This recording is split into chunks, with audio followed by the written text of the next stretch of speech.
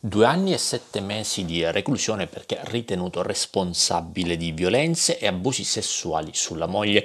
La decisione è stata emessa ieri nei confronti di un operaio trentenne. Il giudice dell'udienza preliminare Silvia Passanisi al termine del rito abbreviato ha ritenuto fondate le contestazioni avanzate dai PM della Procura. Il sostituto Mario Calabrese nel corso del requisitoria ha chiesto una condanna ancora più pesante fino a sette anni ridotta a quattro anni e otto mesi in relazione al rito scelto dalla difesa difesa illegale dell'imputato, l'avvocato Maurizio Scicolone ha nuovamente messo in discussione la versione della moglie dei PM che l'hanno sostenuta, eh, ribadendo che non ci sarebbe stata alcuna violenza, l'operaio non avrebbe mai imposto rapporti sessuali alla consorte contro la sua volontà. Secondo quanto spiegato dal legale, la denuncia sarebbe arrivata al culmine di un rapporto matrimoniale in crisi. Sono state prodotte conclusioni del tutto difformi rispetto a quanto sostenuto dall'accusa. Sotto esame sono finiti detenuti anche referti ospedalieri che non avrebbero dato alcuna prova di ferite riconducibili a violenza fisica. La donna non si è costituita parte civile nel giudizio abbreviato già in fase di indagine.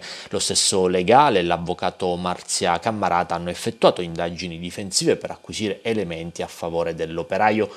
Per la Procura però le violenze e gli abusi sono stati confermati anche da quanto sostenuto dalla vittima. Lo scorso anno l'imputato venne arrestato e sottoposto a detenzione in carcere anche se successivamente la misura venne revocata.